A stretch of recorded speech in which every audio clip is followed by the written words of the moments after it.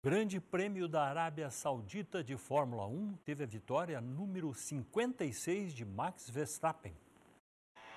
Max Verstappen mostrou desde a largada que não estava para brincadeira.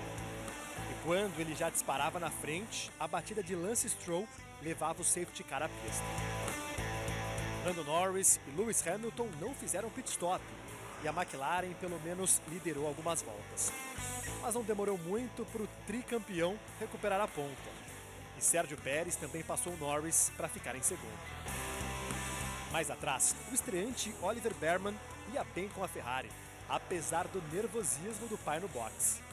No fim, um bom sétimo lugar para o inglês, enquanto Carlos Sainz aparecia no autódromo um dia após ser operado de apendicite.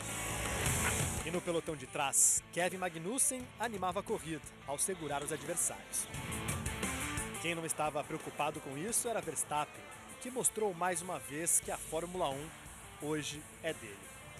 Você tá louco? Max Verstappen no capricho para vencer mais uma! Trigésima dobradinha da Red Bull na Fórmula 1. Vitória de número 56 de Max Verstappen e centésimo pódio para o tricampeão. Ou será que já dá para pensarmos em futuro tetracampeão? Ah, it's, you know, it's still a very long season, and uh, of course I'm very happy to, to win today. But of course the ultimate goal is to, to fight for, for the championship this year, and uh, of course we are off to, uh, to a great start. Na pista, Pérez completou mais um domingo perfeito da equipe em segundo lugar, e Charles Leclerc dava à Ferrari mais um pódio em terceiro.